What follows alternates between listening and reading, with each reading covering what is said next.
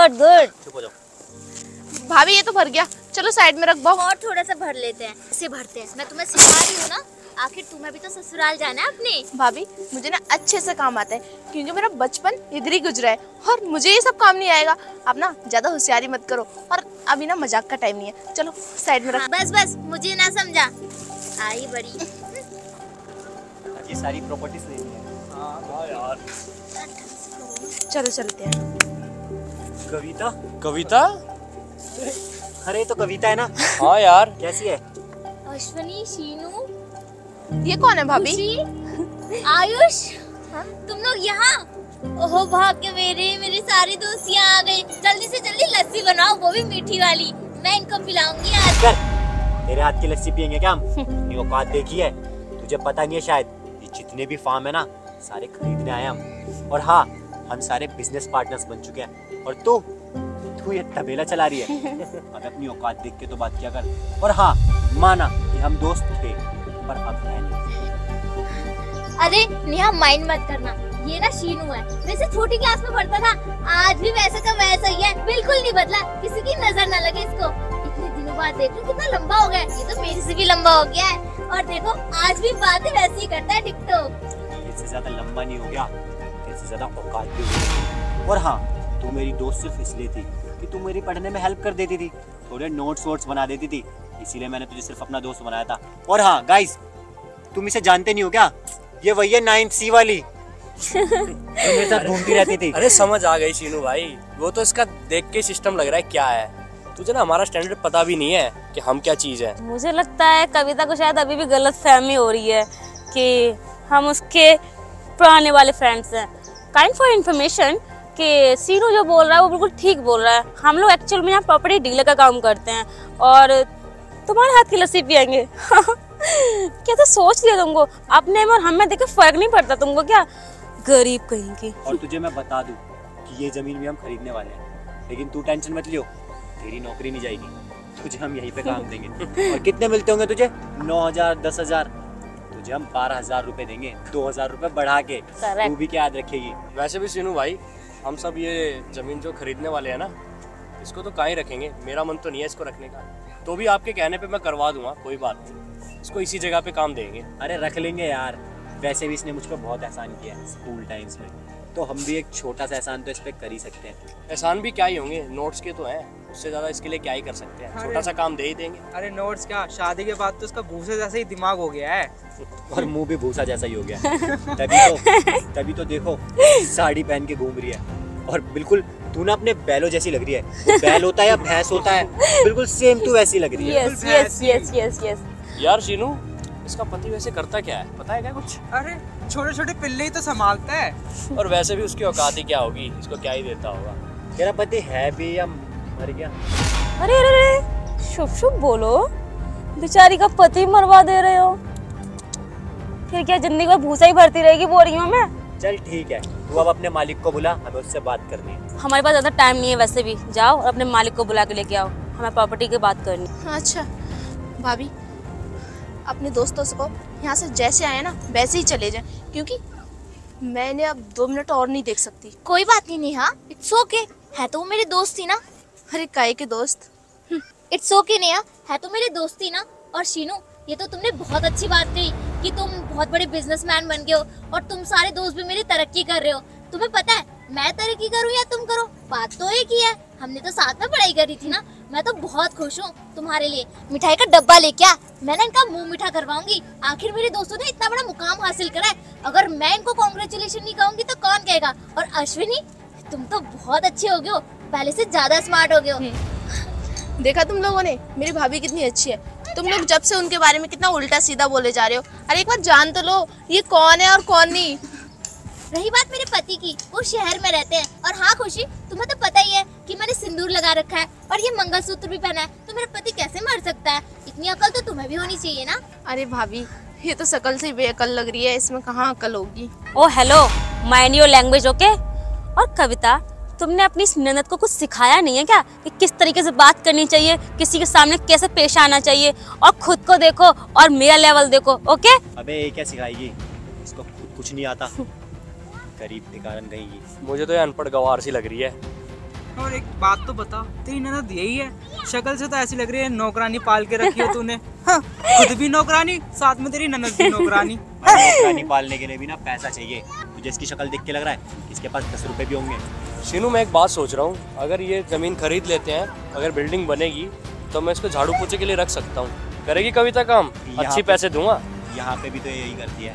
झाड़ू पोछा गाय की सफ़ाई ये घास भूसा यही करती है। यहाँ पे तो ज़्यादा मेहनत करनी पड़ती होगी ना। वहाँ पे एसी में काम करेगी अच्छी हो जाएगी दिखने में भी। रहने दो यार गाइस टाइम क्यों बर्बाद करना। जिस काम के लिए आई हैं वो काम करते हैं ना। और वैसे भी इन लोगों के मुँह लग के फ़ायदा ही क्या होना है हमको? चलो अपना काम स्टार्ट करते हैं। तू तो लस्सी पिएगी ना पर छोड़ हम तेरे को लस्सी नहीं पिलाएँगे। तेरे को तो हम रेड बुल पिलाएँगे। जिससे तू ज़्यादा काम कर सके और यहाँ की ज़्यादा सफ़ाई कर सके। बाकी बातें तो ठीक है।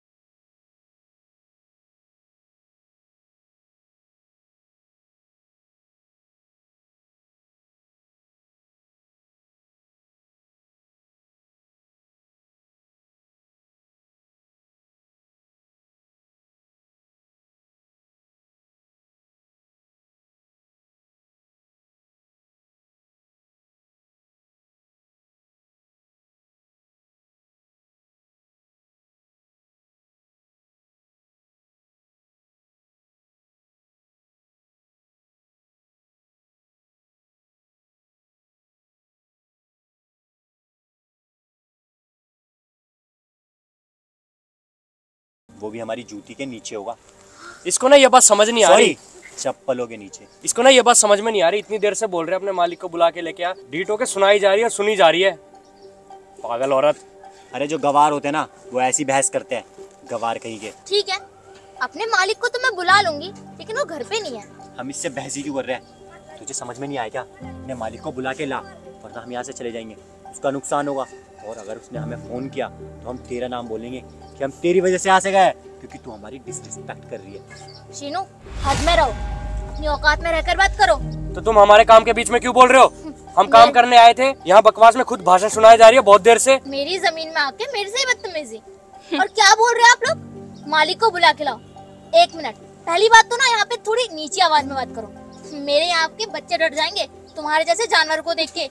मेरी भैंस भी तुमसे काफ़ी अच्छी है। जब आवाज़ करती है तो तुमसे ज़्यादा धीरे बोलती होगी। और रही बात मालिक की। इस गाँव के सरपंच है मेरे ससुर जी। वो यहाँ के मालिक है। अब मैं उन्हें कैसे बुलाऊं? वैसे भी वो अपने बेटे के साथ कनाडा गए हैं। इन्हें क्या बता रहे इन्हें तो पता भी नहीं होगा। वर्ल्ड के मैप पे आते कनाडा। और तुम्हें पता है मेरे पति कौन है? एनआरआई है मेरे पति। उन्होंने तो बोला था, कभी कविता तू भी शिफ्ट हो जा। लेकिन हाँ मेरा तो इन भैंसों से मन ही नहीं हटता। मैं तो चाहती हूँ, मैं पूरी ज़िंदगी इन भैंसों की सेवा करूँ। और हाँ अपने घर वालों की भी सेवा करूँ। अपनी छोटी को काम भी तो सिखाना है मैंने। तुम लोग तो ऐसे तेवर दिखा रहे हो जैसे तुम कुछ एनआरआई हो। और तुम्हें पता है मेरे पति ना तुमसे चार गुना कमाते हैं बिल्कुल शो ऑफ़ नहीं करते साल में एक बार घर आते हैं। और हाँ मेरे लिए इतनी सारी चीज़ें लेके आते ना तुमने तो कभी देखा भी नहीं होगा। और तुम्हें क्या बताऊँ वो तो एक बार दुबई भी गए थे। और तुम्हें पता है ना दुबई में सोना कितना सस्ता मिलता है। वहाँ से सोने के गहने लेके आए थे। तुम्हारे पास है सोने का कुछ भी? हाँ, ये क्या जानेंगे? इनकी शादी ही नहीं हुई है। हाँ और मेरे पति ने तो मुझे सोने में लाद रखा है। तुम तो यहाँ फटे कपड़े पहन रही हो। तुम तो यहाँ फटे कपड़े पहन रही हो चप्पल पहन रही हो। हम्म, मेरे पति ना बहुत अच्छे हैं। उनकी मैं जितनी तारीफ़ करूँ ना उतनी कम है। मेरे पति के बारे में ना कभी बोल मत देना गलती से भी। और रही बात मेरे ससुर की तुम्हें पता है ये सौ एकड़ की ज़मीन ना मेरे ससुर की है। सरपंच है वो ऐसे ही नहीं बनाया उनको सरपंच। और हाँ हमने तो कई जमीनें बेच भी दी। तुम चाहो तो तुम भी खरीद सकते हो, लेकिन पैसा बहुत चाहिए हमको। और दूसरी बात, ये जो बिल्डिंग है देख रहे हो ना, वो भी हमारी ससुर ने ही बनाई है। तबेले में रहना तो हमारा खानदानी शौक है। वैसे भी हमें गायों के साथ जुड़ना पसंद है इन्वायरमेंट के साथ रहना पसंद है। अगर तुम्हें लगता है कि हम गवार है ना तो ये आपकी गलत फहमी है। और शीनू, तू तो सुकड़ा का सुकड़ा ही रह गया। और मुझे बोल रहा मैं मोटी हूँ। अरे मोटी क्यों ना हूँ? मेरे खानदान ने मुझे खिलाया पिलाया खाने पीने वाले खानदान से हूँ मैं। तुम्हारी तरह लकड़ी नहीं हुई हूँ। और दूसरी बात भैंसों का दूध पीती हूँ मैं ताज़ा ताज़ा वो भी सुबह सुबह निकाल के। हाँ, इनको क्या बता रही हूँ मैं? और एक बात बताऊँ तुम भी यहाँ से एक लीटर दूध लेके जाओ कुछ लग जाएगा तुम्हारे शरीरों को। हाँ? देख लिया? देखा गाइस ऐसे लोग ना सिर्फ़ फेंकते रह जाते अपनी लाइफ में कुछ नहीं कर पाते। और हाँ तूने बोला ना ये ज़मीन तेरी है। सही है तेरी है। अब ना ये ज़मीन हमें चाहिए भी नहीं। अगर ये ज़मीन तेरी है तो अपने पास ही रख। चलो गाइस हाँ हाँ जाओ जाओ। मुझे भी तुम्हारी ज़रूरत नहीं है हाँ, औकात होगी हमारी ज़मीन खरीदने की तभी तो खरीदोगे। ये मैं फूटी कौड़ी नहीं आई मेरी ज़मीन खरीदने। मैं तो अभी दे दूँ अभी खरीद लो। लेकिन मोटा पैसा चाहिए मुझे। ऐसे सस्ती मैं नहीं दूँगी और खासकर तेरे जैसे को तो बिल्कुल नहीं दूँगी। चल निकल। हाँ, तेरी मौका बात है। देख लेंगे तुझे। भाभी आपने तो अच्छा चमका दिया अपने दोस्तों को। दोस्त होंगे तो अपनी जगह होंगे। मेरे परिवार के बारे में कुछ भी बोलेंगे ना ज़मीन में गाड़ दूँगी। आए दोस्त हाँ, चल भूसा भरते हैं। चलो। साइड लगाते हैं इनको।